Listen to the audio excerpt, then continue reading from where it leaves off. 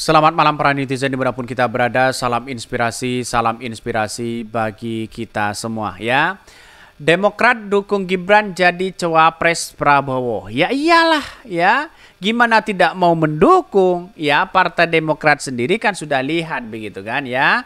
Ada kebingungan besar, ada keterpaksaan besar, oposisi 9 tahun begitu ya. Dan pada akhirnya begitu terkecoh dengan ya politik oleh Pak Lurah begitu ya.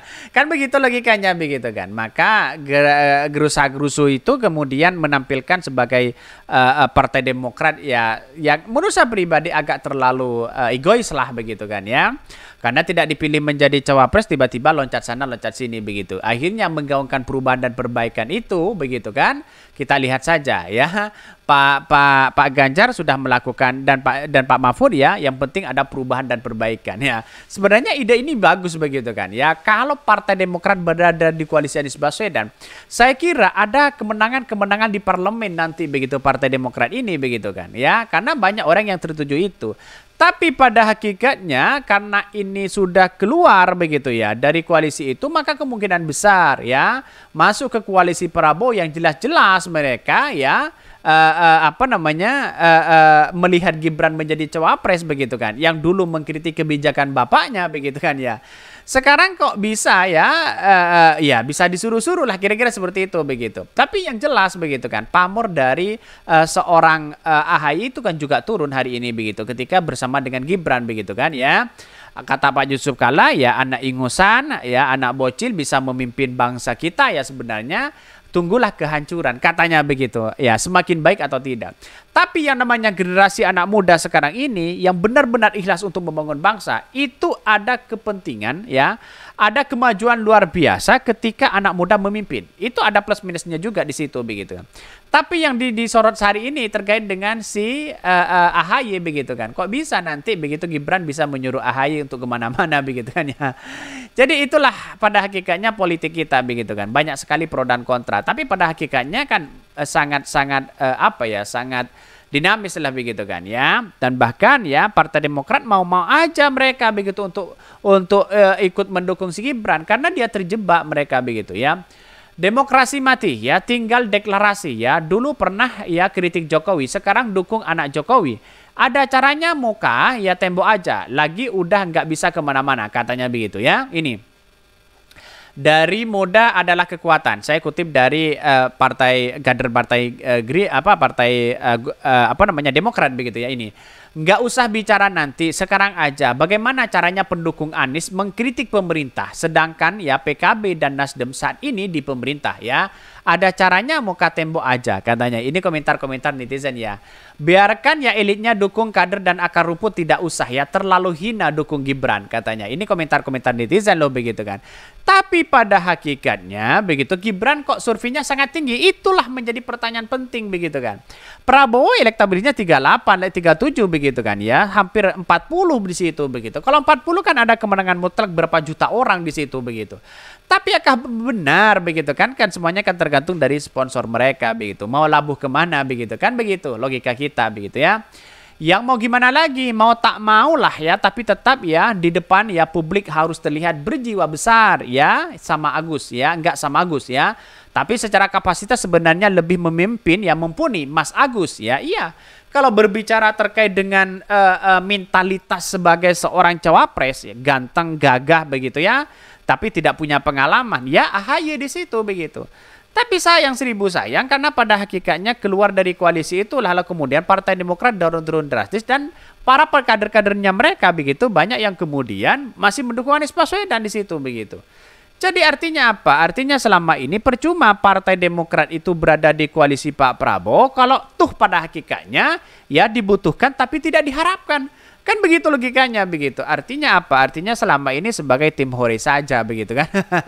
Bisa saja seperti itu begitu kan. Tapi Partai Demokrat luar biasa loh kalau kalau bersama dengan uh, uh, koalisi perubahan begitu kan. Karena ide-ide perubahan dan dan perbaikan itu sangat sangat sangat sesuai dengan apa yang dirasakan oleh AHY 9 tahun di situ begitu menjadi oposisi begitu ya. Dan bahkan ini dukung Demokrat Gibran jadi cawapres Prabowo. Ya Demokrat dukung Gibran jadi cawapres Prabowo ya. Partai Demokrat mendukung Wali Kota Solo sekaligus putra sulung Presiden Joko Widodo Gibran Raka Buming Raka menjadi capres baca pres ya Prabowo Subianto. Dukungan itu seiring safari Gibran ke kediaman Ketua Umum Partai Demokrat Agus Harimurti Yudhoyono ya. Bahkan ya politikus Partai Demokrat Andi Arief mengaku dukungan partainya mengarah kepada pasangan ya Prabowo Gibran. Arahnya menuju seperti itu kata Andi Arief. Sebenarnya seperti kata Andi Arief ya kenapa AHY tidak disodorkan menjadi cawapres begitu kan. Biar biar ini jadi pelengkap, biar jadi perhitungan begitu kan ya. Kendati begitu dia minta publik untuk menunggu pengumuman Prabowo secara resmi. Tapi kita tunggu resmi yang diumumkan oleh Pak Prabowo. Presiden ya uh, Republik Indonesia ke-6 yang juga merupakan ayah dari AHY Susilo Bambang Yudhoyono sebelumnya sempat menyatakan Gibran ingin menemuinya. Hal itu diungkap oleh SBY melalui cuitan di akun Twitternya. Tiga hari ini saya ada di Jateng. Ya, saya dapat info Mas Gibran ingin temui saya dan AHY. Mungkin terkait pencalonan Mas Gibran sebagai cawapres. Silaturahmi Mas Gibran ya dengan saya dan AHY itu baik. Namun urusan cawapres sepenuhnya menjadi kedaulatan dan kewenangan Pak Prabowo cuitnya ya. Ini kan sudah sebenarnya kan e, cari panggung lah begitu kan ya. Gibran Raka Buming juga ya sempat bersafari menemui sejumlah pimpinan partai politik ya, anggota koalisi Kuma Indonesia Maju. Pada Sabtu kemarin dia bertemu dengan Pak Zulfan ya. Pak Zulkifli Hasan ya. Pas terus ketemu dengan berfoto di situ begitu. Bahkan sementara Golkar secara resmi mengusung nama Gibran Raka Buming Raka sebagai capres ya. Ini kan sudah sudah sebenarnya silaturahmi kan sudah lengkap begitu. Mulai ke PAN, mulai ke AHY begitu kan ya, Partai Golkar sendiri ya, Partai Gerindra sendiri begitu. Pasti ke partai-partai yang lain. Artinya pertanyaan dari masyarakat hari ini begitu bisa saja AHY ini ya kalau menang ya jadi menteri lah. Kira-kira seperti itu. Tapi pada kenyataannya ya banyak yang kemudian Partai Demokrat akan rumput mereka bagaimana di parlemen begitu kan. Itu yang yang dipikirkan juga seharusnya oleh Partai Demokrat begitu. Tapi yang jelas inilah negara demokrasi banyak sekali pro dan kontra begitu kan. Bahkan ya koalisi Indonesia Maju ya yang mengusung Prabowo sebagai capres di sini sejumlah partai mereka adalah Demokrat, Gerindra, Golkar dan PAN ya semuanya setuju mereka begitu ya apalagi Gelora begitu. Ngotot sekali ya untuk Gibran menjadi cawapres dari uh, uh, apa namanya dari uh, Pak Prabowo begitu. Ada apa begitu kan?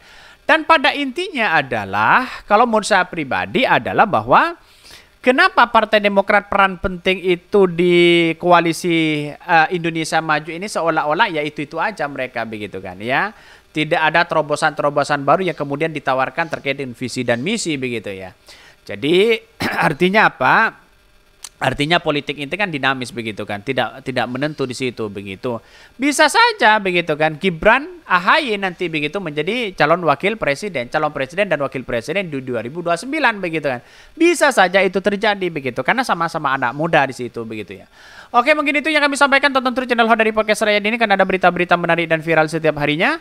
Salam para netizen, salam inspirasi, salam inspirasi bagi kita semua. Jangan lupa di subscribe dan YouTube Hodari Podcast Rakyat ini.